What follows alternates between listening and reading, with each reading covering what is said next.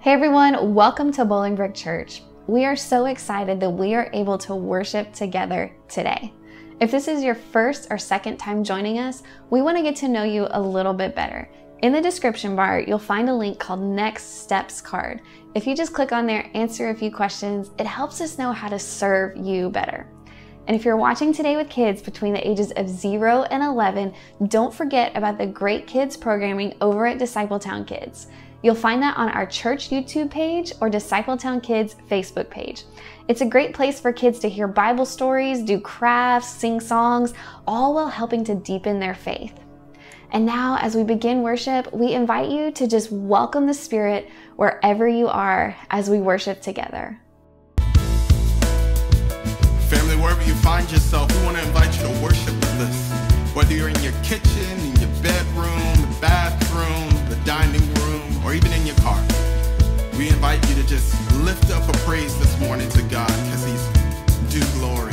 So help us right here. He's coming on the clouds. Kings and kingdoms will bow down. And every chain will break as broken hearts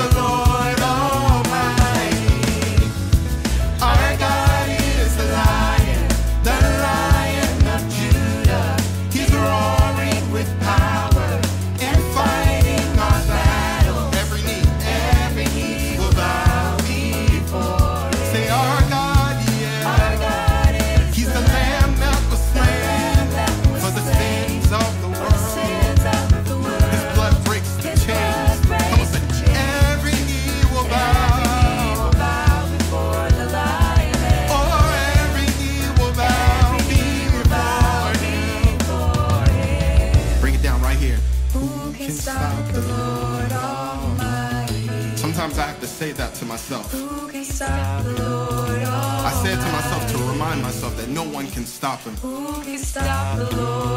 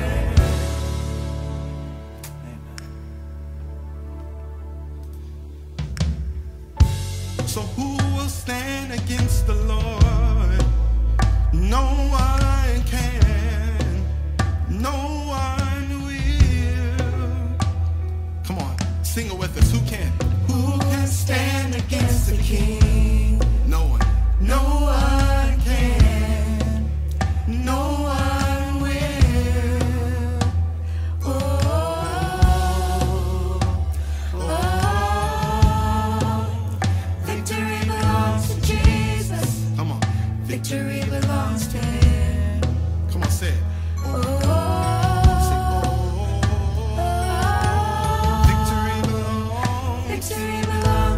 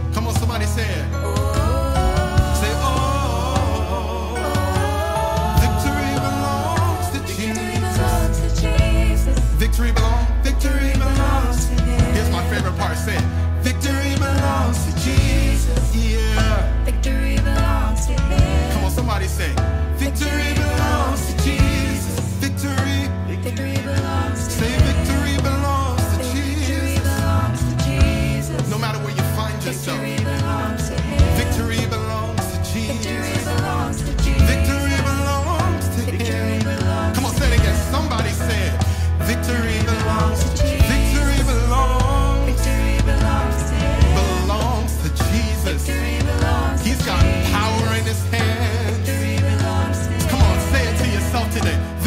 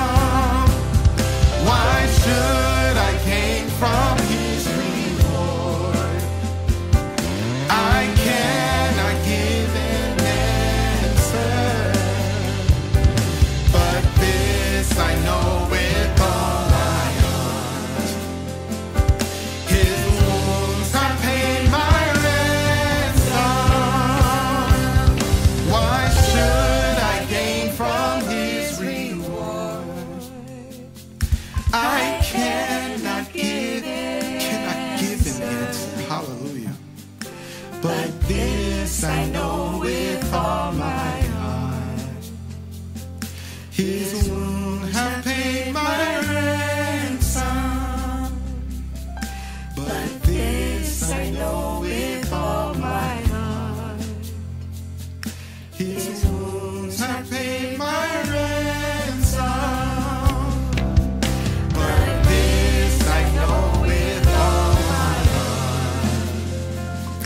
His wounds have paid my ransom. Victory belongs to Jesus. Victory belongs to Him. Victory belongs to Jesus. Victory belongs to Him. Victory belongs to Jesus. Victory belongs to Him. Victory belongs to Jesus. Victory belongs to Him. Good morning, Bolingbrook Church family. Thank you for being with us today. Please join me for a moment in prayer. Dear Heavenly Father, we're so thankful for this day, for this opportunity to get together and to worship you, Lord. What a blessing and a joy it is to have this day where we can set aside all of our cares and worries of the week and just come together and praise your holy name. I ask a special blessing upon each person watching today, Lord. Please bless their homes and their families. Uh, please create a desire in us, Lord, to get to know you better so that joy that we have that comes through knowing you, we can share with others. We thank you for your mercy and grace that you continually extend to us. Lord, we love you and we thank you. In your name, amen. My family and I just got back from spending two weeks in Southern California. And for those of you who don't know, Southern California is where I'm from. We haven't seen family because of the pandemic. And so we finally had this trip and everyone was there. My brother flew in from New York. We flew in from Chicagoland. My sisters already live there. My parents live there. And so one of the things that you do when you go back home, at least for me, is I go to places that I like to eat. So I hit up all of my favorite places. But above all of these places, in the town that I used to live in, in the town of Orange, there was this donut shop that was open 24 hours a day, 365 days a year. Kara and I love donuts. And the nice thing about this, this was literally a mile from where we used to live in Old Town Orange. And so my brother and I were out doing errands. We went shopping. We did a couple of things. And then I said, Hey, on the way home, I'm going to take you to this donut shop because he lives in New York. So we go to this place, DK Donuts, like I said, 24 hours a day. They would drop their donuts fresh early in the morning and then at 10 o'clock at night. I know this because Kara would often ask me at 10:30 at night, "Hey, let's go get some donuts." Right? So we go there, we get a dozen donuts. I'm excited. I'm already starting to eat those donuts because there is no way that I was waiting to get to my parents' house before I was going to have some donuts. So we're driving, we're talking, we're going down Chapman Boulevard, which may not mean anything to you, but I'm driving down there because we're trying to get to the freeway that's going to take us to my parents' house. And as I approach the freeway, I just drive right past it. Because in my mind, I was going home. I thought I was going back to the house we lived in three years ago. Because that's what we do sometimes. We, we just go on autopilot. You've driven places, I know you have, where you've driven home and you think to yourself, like, did I even drive here? Did I make that right turn? Did I make that left turn? Like, how did I even get here? Because I was spaced out. Like, we do that when we're driving, but I think more importantly, we sometimes do that with our lives. We just live our lives on autopilot, hardly paying attention to being intentional in our lives. We, we succumb to the routines of our lives. If you look back over the last month of your life, you could probably take an inventory and see that 90% of the time you woke up at the same time and you went to bed at the same time and you might even have the same kind of meals day in and day out. And I know for me, one of the things that I do at night when Kara's putting our daughter down, I'll, I'll, go on my phone and I'll just start looking at YouTube and watching videos or listening to a podcast. And what I realize is that that's become such an organized behavior in my life that like I was literally just cruising through my evenings, like scrolling through YouTube. I think we do this with our lives as a whole, where one day we wake up and we wonder to ourselves, like, how did I get here? Like, how did the years pass by so quickly? I'm turning 40 this year. I thought I would be 20 forever, but now I'm almost 40 years old. I'm almost at the middle of my life. I'm, I'm primed for a midlife crisis, right? At least age wise. But it got me to thinking when we were flying back from California, I looked at my wife and I said, Kara, like, I don't want to just go back to the routine of our lives. I don't want to just go back to the way things were. I don't I don't want to just go back on autopilot, but I want us to live our lives in a way that it's more meaningful, more intentional. Like I believe that God is calling us to live for so much more. See, God doesn't just want us to live for the weekend. I truly believe that God doesn't want us to just live for the two weeks a year that you have vacation or four weeks off a year that you have vacation, but that God has designed life so that you would live a more meaningful, more fruitful, more passionate, more intentional life. And I think that it's true because if we go back to the beginning, if we go back to God's original blueprint for our lives, we'll actually begin to see that, that God desires something so much better. And I don't want you to think like, oh man, well, my life is terrible, so there's no way that God is wanting this for me. But I think if you'll just give me a few moments and an open mind and an open heart, I think that God's going to share with us like a new truth for us, that God's going to set some of you free. God is going to give some of you uh, a new vigor for your life, new passion for your life.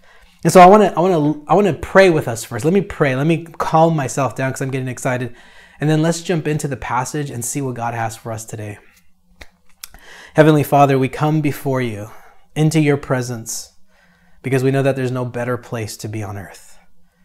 And so I ask now that as you speak through me and as the hearers hear the word, that you would use this time to continue to shape and transform us, that you would continue to cultivate and give us a new imagination for your desire for our lives and for our church. So, Father, we thank you in advance for the blessing of your word and for you, what you will do with it. In the name of Jesus, we pray. Amen. So, I want to look at Genesis chapter 1, verse 26. The Bible says, Then God said, Let us make humankind in our image, according to our likeness, and let them have dominion over the fish of the sea, over the birds of the air and over the cattle, and over all the wild animals of the earth, and over every creeping thing that creeps upon the earth. So God created humankind in his image. In the image of God, he created them, male and female, he created them. God blessed them and said to them, Be fruitful and multiply, and fill the earth, and subdue it, and have dominion over the fish of the sea, and over the birds of the air, and over every living thing that moves upon the earth. You know, we get this snapshot of God in his heavenly court, wherever that is, whatever it looks like. God had already created everything else. He'd created the fish, the birds, the sea, the mountains, the flowers, the plants, the sky, the stars, the sun, right? God had created everything. And then God has this moment where he says, I am going to create mankind and I'm going to make him different than all the animals. I'm going to make him different from all the other things I've created. And, and in fact, I'm going to make humankind men and women in my image, in my likeness. Now, commentators, theologians would argue over what it means that you and I are made in the image of God. So there's some people that will say that to be made in the image of God means that because you have rational thought, because you're logical, because you can feel emotions, because you can be empathetic and sympathetic and compassionate and gracious and forgiving, that all of those things mean that that's what God is like. There's other people that will literally say that no, no, no, like to be made in the image of God means that that we as human beings with arms and legs and head and nose and hair and all that stuff, that that's what God looks like. So so there's just this debate between what it really means.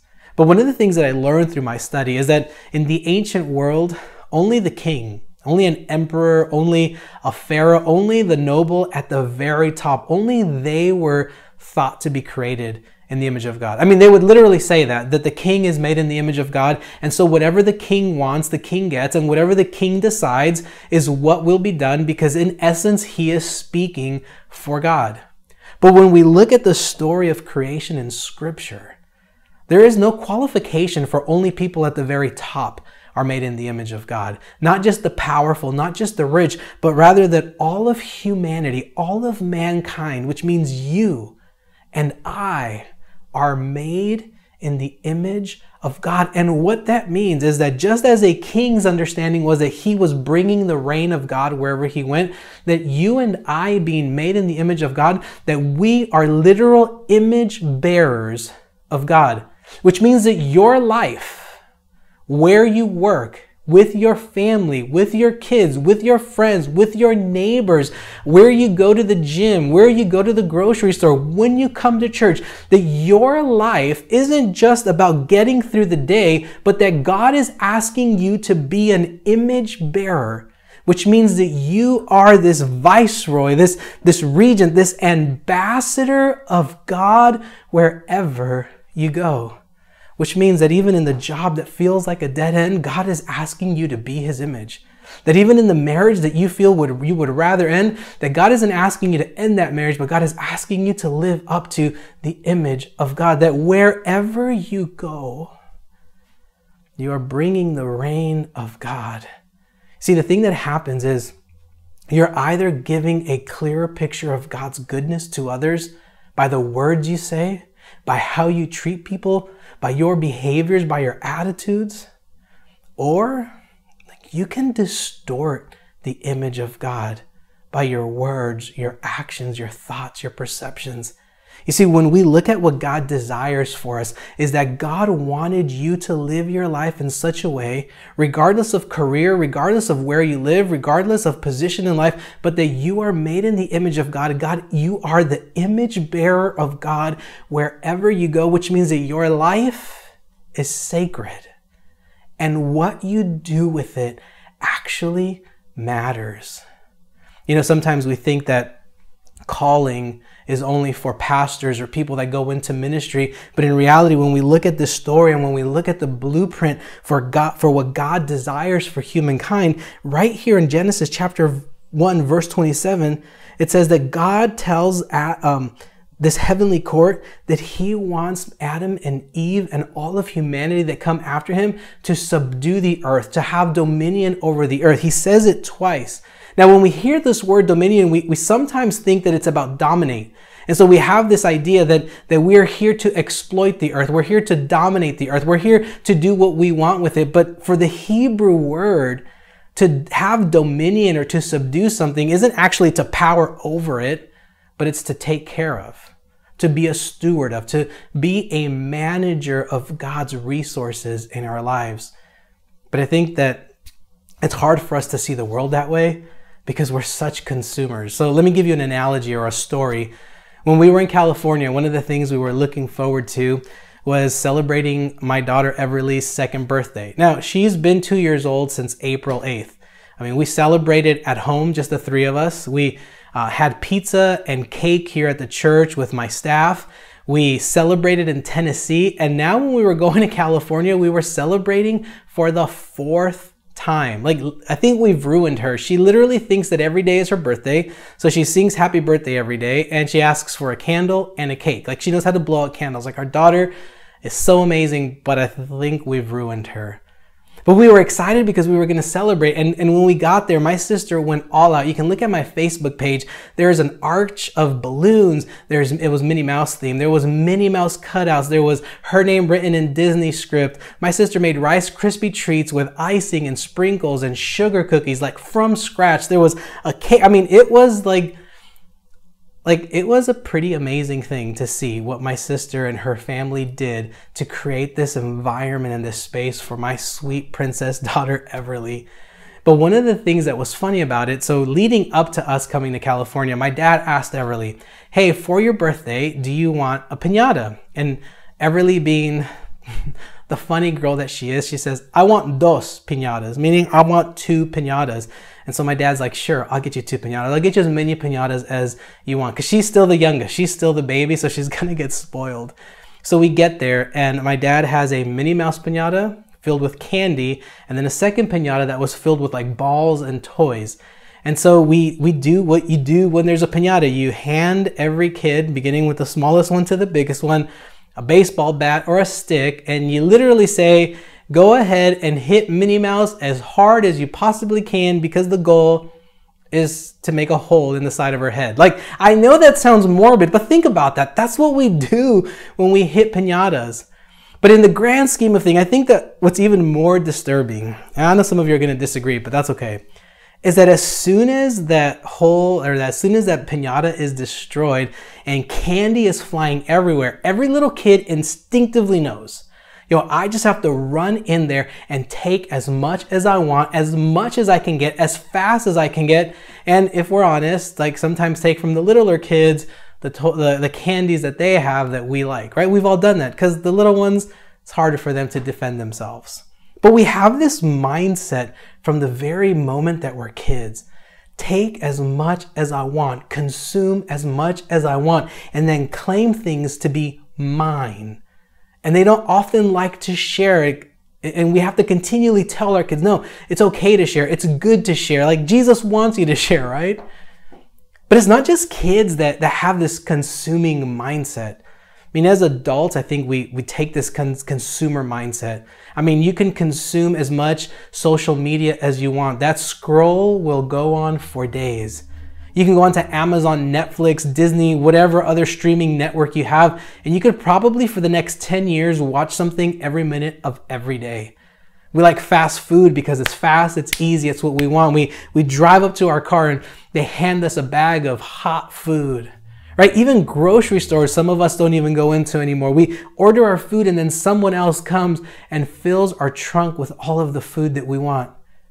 Like we're the consummate consumers. We just want more. And I think sometimes when we read a passage like this in Genesis chapter 1, where, where God tells us to subdue and to have dominion over the fish and the animals and the sea and the world, sometimes we have this consumer mindset and we just want to take as much as we can. And, and sometimes we do this with church. We, come to church to consume this religious service, this product that the church makes, and we come and we get it. And as long as they're still making the recipe the same way, we're going to keep coming back.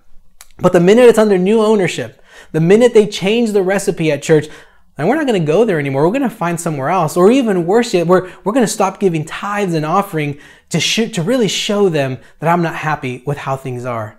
And we have this consumer mindset oftentimes we attribute it to even God and our relationship with God. But we believe at Bolingbrook Church that God is calling you to live beyond a consumer. That God doesn't want you to simply be a consumer, but He wants you to be a creator, to participate in the ongoing work of creation. That is why when God says, I'm going to make mankind in my image, in my likeness, and then I'm going to ask them to subdue and have dominion to care for my world, that God was actually asking Adam and Eve to continue the work of creation, not just consume, but be a part of the work of creation. I mean, Genesis chapter 2, verse 15 says that God took the man and put him in the Garden of Eden to till it and to keep it. You know, I used to think that when we got to heaven, we wouldn't have to do any work, right? Because work, sometimes you, we've all had those jobs we just absolutely hate. We've had those jobs that feel like work. And so I used to think, well, there's not going to be work in heaven. But then I went back to the beginning of scripture where it was still paradise. And part of God's original intention was that Adam would till and keep the ground, that Adam would still have a job. And so, what we find in this first story about God's design and desire for our lives, that God's purpose for our lives, is that God wants you as an image bearer to continue in the work that God started at creation. And God is asking you to be a part of His reign on this earth, in this place, in your home, in your family, in your work, in your church, that God wants you to live for so much more. God doesn't want you to live on autopilot. God doesn't want you to just wake up one day at the end of your life and wonder, where did my life go? But God wants you to live a life of meaning and purpose. You know, the Bible tells us that before you were formed in your mother's womb, that Jesus knew you and purposed for you something in your life. You know, sometimes we think that purpose is our calling, and sometimes we think that our calling is our career. And so we look at pastors and we say, well, the pastor is a preacher and he gets up on Saturdays and he preaches to us and he's lucky because he gets to have his career also be his calling. But I would say it this way that my calling isn't to be a pastor but that my calling is always to draw people closer to Christ, to, to always point people to Jesus, and then allow the Spirit of God to do what God does. You see, your calling isn't your career, but regardless of whatever career you have, God's calling on your life is for you to be an image bearer always pointing people towards Christ by the words that you speak, by the actions of your hands, by the behaviors of your life. That God's original intention at creation was that you would be an image bearer and that you would continue in the work of God wherever you are. And so I would put it this way that at creation, God announces to the heavenly court, He announces His intention for what He is going to do. He says, I want to create humankind in my image. And then God designates the purpose for humanity. He says, I am going to create humankind, his intention, in the image and in the likeness of who I am, and then I'm going to ask them to continue the work of creation. Not that we can create, but to continue to tend it, to steward it, to take care of the world all around us, the relationships in our lives, to care for the people we live next to. And then, and then God creates man and woman. So when God sets the intention for your life, it isn't about finding the right career, finding the right vocation, but it's about bringing the right thing to your career, bringing the right thing to your relationships, bringing the right thing to your workplaces, to your neighborhoods, to your homes, to your families. You see, part of God's original intention is that when He decides to make humankind, when He decides to make you into the image of God, what He's actually doing is He's inviting you not only to be a part of His family, but He's inviting you to continue in the work that He's already done. You know, we're so preoccupied with searching and chasing after the presence of God that we forget that God is asking you to be His presence everywhere that you go.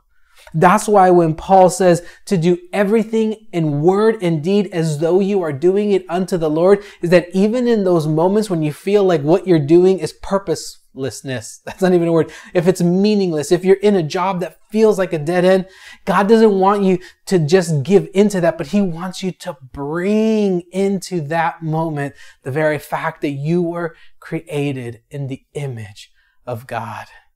So I want to look at one last passage, one short story that's only going to be one verse long that I think is going to help to continue to give context for the intention and the purpose and the design of God in your life. In Luke chapter 1, verse 80, right? The very last verse of a chapter I mean, I don't know about you, but anytime that I've been doing reading for school, uh, I've learned how to skim. I've learned how to read the first and last sentences of paragraphs, but generally the last sentence, it's just introducing the next chapter. So I just go to the next chapter. But when we come to the book of Luke, chapter 1, verse 80, I want to read that to you. I'm going to read it and then I'm going to give you context. Luke writes, The child grew and became strong in the spirit, and he was in the wilderness until the day he appeared publicly to Israel. So, without context, this makes absolutely no sense. But here's what's happening this is about John the Baptist. John the Baptist was said to be the one who was going to prepare the way for the Lord. Like literally, his calling, his vocation was simply to be faithful to what God was asking him to do. God had already destined, God had already purposed to send Jesus to this earth so that he could show this world how much he loved them. But before Jesus begins his ministry, God sends John the Baptist to prepare it. Now, the story tells us that John the Baptist's mom was too old. She was beyond childbearing years. But the angel of God comes to her and says, Listen, Elizabeth, you are going to have a son. And he is going to be the one who will literally pave the way for the Messiah. He will be the one to prepare the way. This was like a high calling, a high purpose. And the angel comes to his dad as well and says, Listen, this is what's going to happen. And the Bible tells us in verse 80 It says that John the Baptist grew and became strong in the Spirit, which is echoing the same words of creation when it tells us that God blessed Adam and Eve. It is the same words of creation in Genesis 2 when it says that God breathed his breath into the nostrils of Adam and Adam became a living being. This continually goes back to God is the one who does the work in your life. God is the one that blesses you. God is the one that breathes life into you. God is the one for like John the Baptist who helps you to become strong in the spirit. But now listen to this next part. And he, John the Baptist, was in the wilderness until he appeared publicly. He was in the wilderness before he was ready to publicly do the ministry and the thing that God was asking him to do. Now, think about this, fam. Before, after Jesus was baptized, the Bible tells us that Jesus goes into the wilderness for 40 days and 40 nights. And in the wilderness, Jesus is tested. Jesus is battle tested and he overcomes the evil one. But before Jesus does that, the Bible tells us that John the Baptist was also in the wilderness. John the Baptist did the same thing that Jesus did, but before Jesus, because John the Baptist wanted to continue to be a part of the work that God was already getting ready to do. God's design for his life was simply to participate in this ongoing story of salvation. John the Baptist was not the Messiah.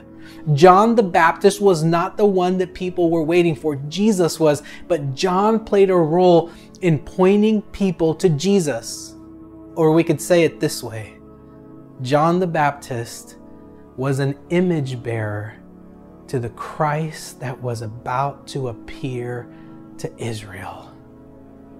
And so, in many ways, John the Baptist gives us a clear indication that when God intentions something in this world, He will call people into His work, not because God needs us. God can literally do impossible things. The Bible tells us time and time again that God literally does that which is impossible. God doesn't need us, God could literally handle everything. But part of the loving relationship that God has with us is that He is asking us asking you to participate in the work of God, of drawing people to Him, of being a reflection of Jesus to others. But we live with this consumer mindset where we're just trying to chase after God because we want more of the goodness of God. We want more of the blessings of God. We want more of the miracles of, of God in our lives. And the whole time we forget that God is asking you to be His presence, to be His miracles, to bring healing to the lives of those that need you. We can't just be consuming after God, but we also have to be giving and being a part of the work of creation and being a part of the solution and the work of God.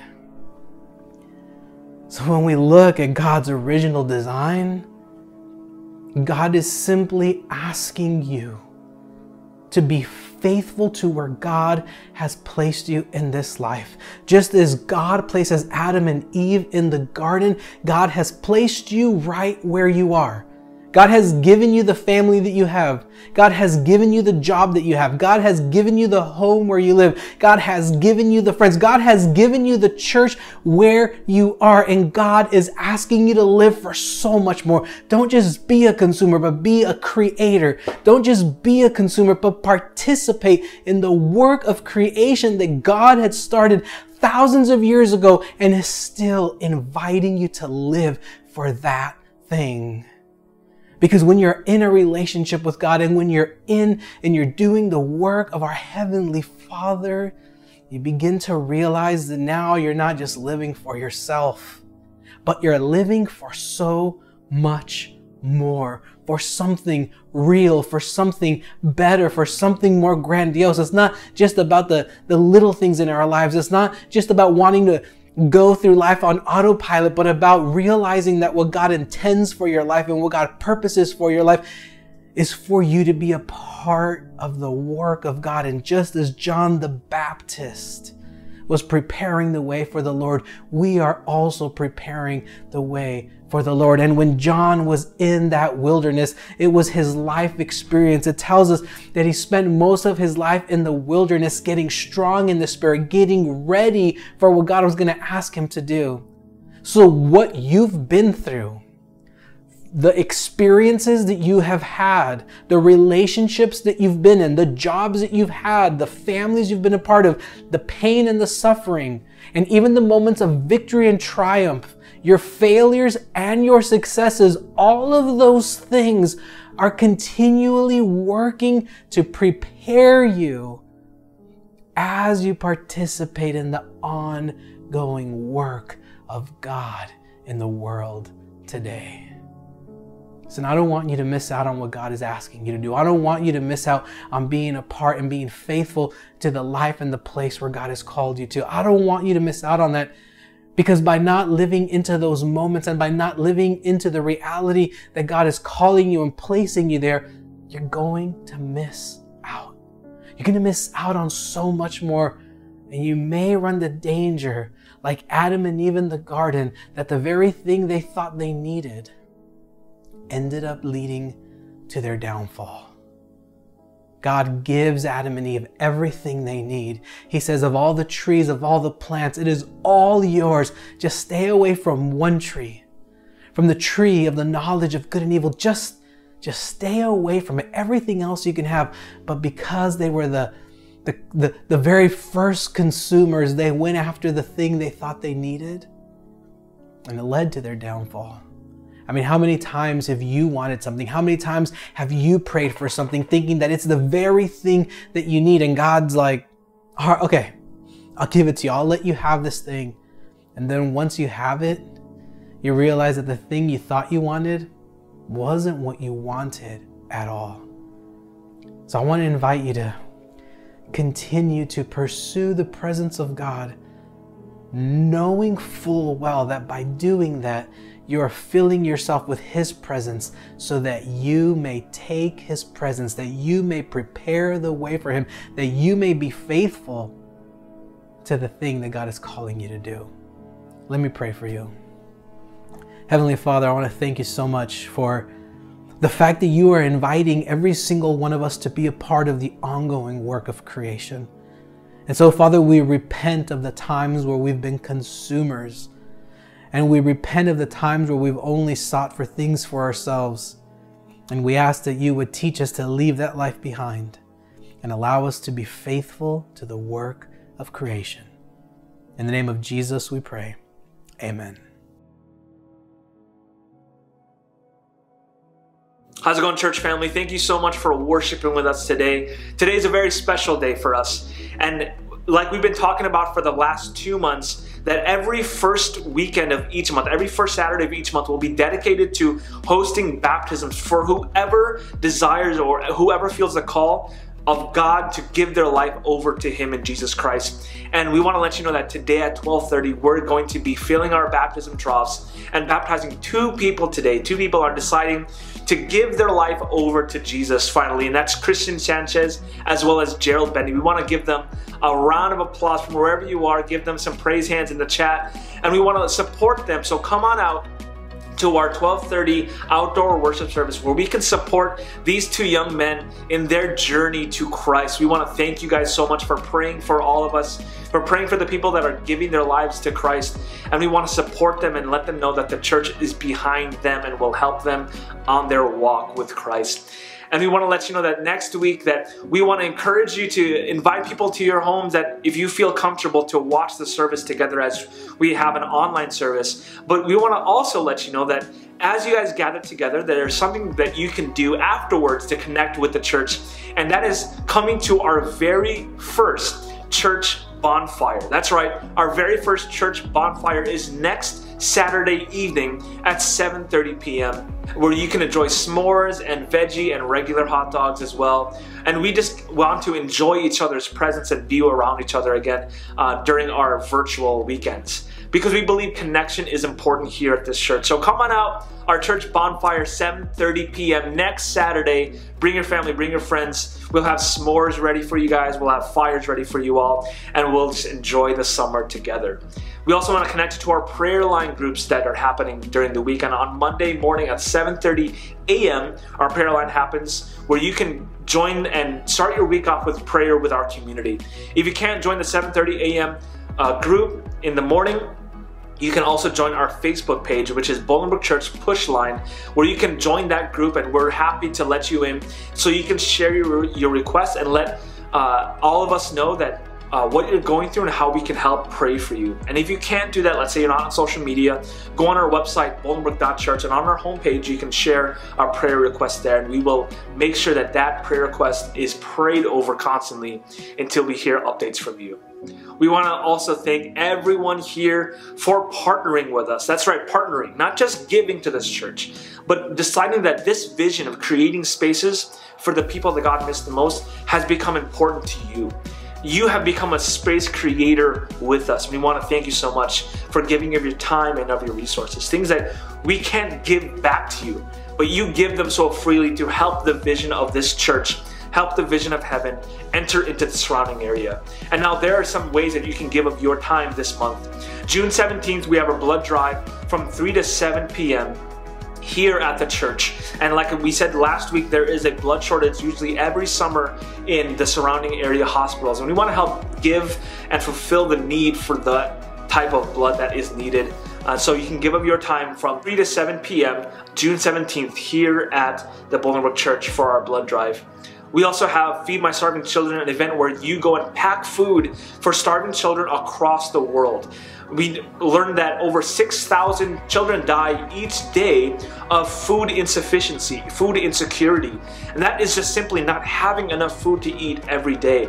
And we want to help diminish that number down to zero. And you can help us do that by partnering with us as we partner with Feed My Starving Children. And that is happening on June 25th from 2 to 3.30 p.m. That's June 25th from 2 to 3.30 p.m. Go and sign up in the link in the description below to be able to become a volunteer for Feed My Starving Children.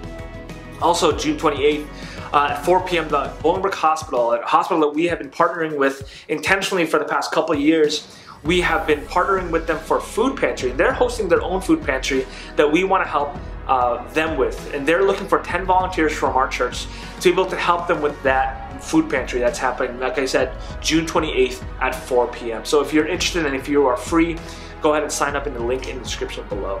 As always, you can continue to give your resources to the church on our website, bolingbrook.church forward slash giving. You can text to give. Also, you can Zelle Quick Pay to info at bolingbrook.church. And we want to let you know that every single cent, every single dollar goes to supporting that vision of creating spaces and we want to thank you so much for your partnership here at Bolingbrook Church. We hope to see you on our lawn at 12:30 today and celebrate the baptisms that are happening, the new lives that are happening in Christ. So be there. Uh, we want to see you there, and if not, we'll see you next week. Everyone, take care. God bless and stay safe.